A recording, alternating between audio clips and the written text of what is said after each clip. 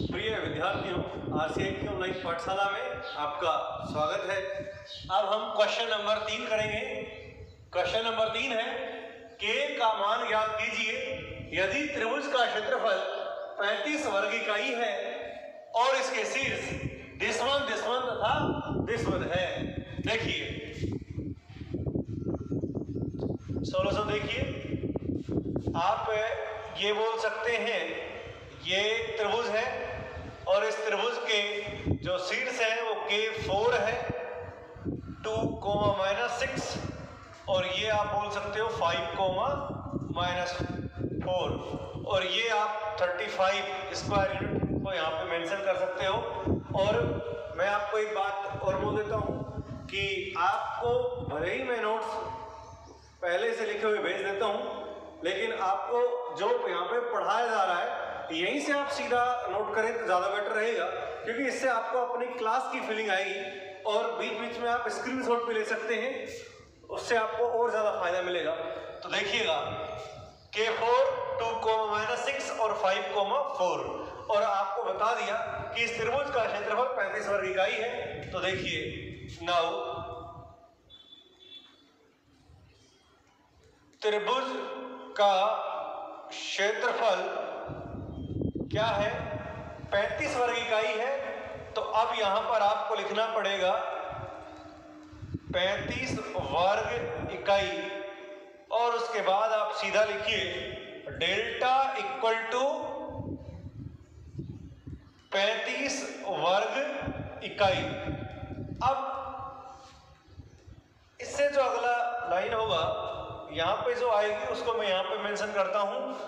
क्या होता है? वन बाई टू और x1 y1 1 x2 y2 1 x3 y3 1 तो देखिए k four one, two minus six one और five four one equal to क्या होगा? यहाँ पे आपको 35 वर्ग इकाई जो लिखा हुआ मिल रहा है, इसको क्या लिखेंगे? प्लस माइनस पैंतीस। क्योंकि डिटर्मिनेंट की वैल्यू नेगेटिव भी आ सकती है, पॉजिटिव भी आ सकती है, इसलिए आपको दोनों ही वैल्यूज़ को रखना है। तो इस बात ध्यान रखना कि जब आपको क्षेत्रफल निकालना हो तो वो हमेशा पॉजिटिव आएगा। और क्षेत्रफल दिया गया हो, और क्षेत्रफल के बाद आपको कोई शीर्ष का निर्देशांक पूछे, उस टाइम उस क्षेत्रफल को आपको प्लस माइनस लेके सोल्व करना है, क्योंकि डिटर्मिनेंट है पॉजिटिव भी वैल्यू दे सकता है और नेगेटिव वैल्यू दे सकता है। एक बार आप इसे नोट कर लीजिए स्क्रीन शॉट ले लीजिए। अब देखिए, इसके आगे कैसे होगा?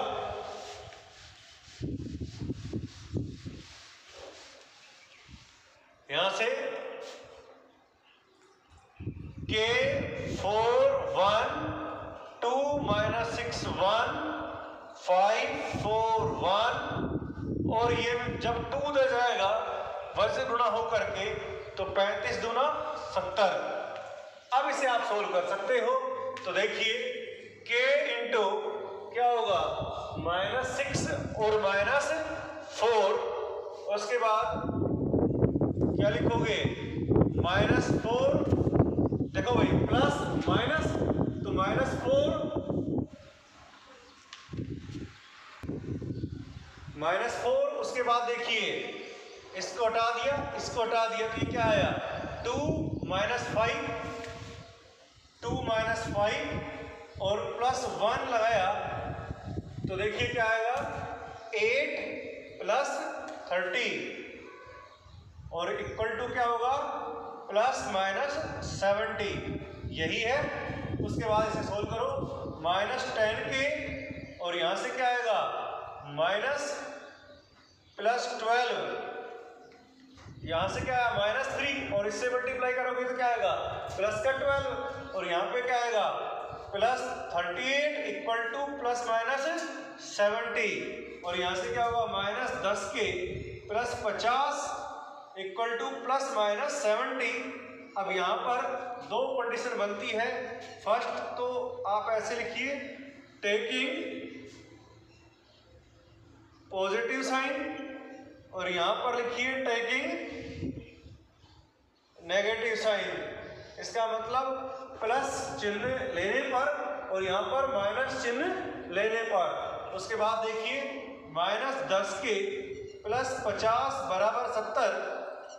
और यहाँ से क्या होगा? माइनस दस के इक्वल टू सत्तर माइनस पचास। बीस होगा और यहाँ से आप कर सकते हो के इक्वल टू क्या आएगा? माइनस दो। ऐसे ही आप यहाँ पे करिए, दस के प्लस पचास इक्वल टू माइनस सत्तर। और माइनस दस के इक्वल टू माइनस सत्तर माइनस पचास, यानी माइनस दस के बराबर माइनस का 120 कैंसिल आउट हो गया ज़ीरो से ज़ीरो। तो के इक्वल टू क्या आया? बारह। तो आपके पास क्या क्या वैल्यूज़ आई? के इक्वल टू माइनस टू और के इक्वल टू ट्वेल्व इस प्रकार से हमने इस क्वेश्चन को सोल्व किया है। केवल और केवल इसमें आपको एक बात ध्यान रखनी है कि जब आपको क्षेत्रफल क्वेश्चन में दिया जाए तो आपको प्लस माइनस लगाना है और जब आपको क्षेत्रफल निकालना हो, उस टाइम आपको केवल पॉजिटिव आंसर देना है। बस इतना ही ध्यान रखना है।